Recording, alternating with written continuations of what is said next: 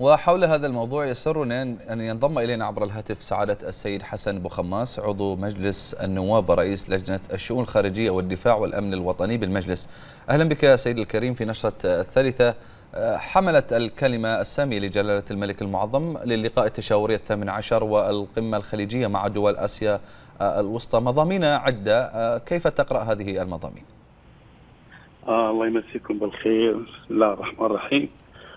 طبعا آه، الكلمة السامية لجلالة الملك المعظم آه، كانت تحمل مضامين هامة موجهة لقمة آه، دول مجلس التعاون مع دول وسط آسيا نحو تكتل إقليمي وتقارب أخوي وتفاهمات سياسية. طبعا وتكامل اقتصادي وهناك شراكات أمنية ودفاعية لحفظ الأمن والأمان الدولة الدول واستقرارها طبعا.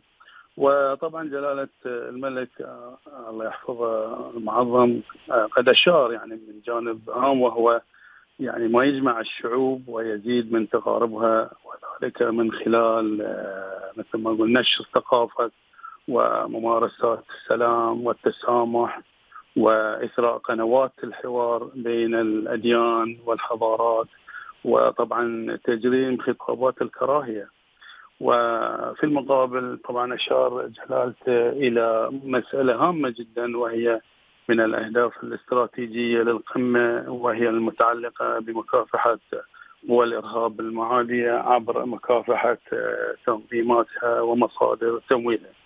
وطبعا هناك آه، مثل ما أقول أهمية تاريخية لهذه القمة التي تعقد لأول مرة طبعا في في الخليج وتحالف آه، هام بين الدول الخليجية مع الخمس الدول في وسط آسيا.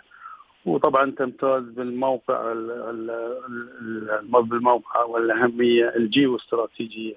طبعا هاي الدول الخمس بحيث يعني كان يتم تعزيز اقتصاد اقتصاديات خليجيه بهذه الدول المشاركة.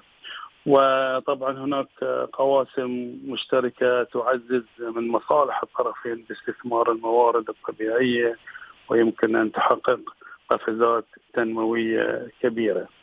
وطبعا لابد من التأكيد على دور المملكة العربية السعودية في المنطقة وريادتها في تعزيز العلاقات الخليجية مع أقطاب عالمية في مختلف المجالات في مقدمتها الاقتصادية والسياسية ومكافحة الإرهاب والسعي نحو السلام لتنعم بها الشعوب. هذه يعني مضمون جلالة الملك. الله نعم. يحفظه المعظم. نعم هذه هي أعتقد هذه اللي هي أهم النقاط يعني. نعم. نعم. سعادة السيد حسن بوخماس عضو مجلس النواب ورئيس لجنة الشؤون الخارجية والدفاع والأمن الوطني بالمجلس. شكرا جزيلا لك.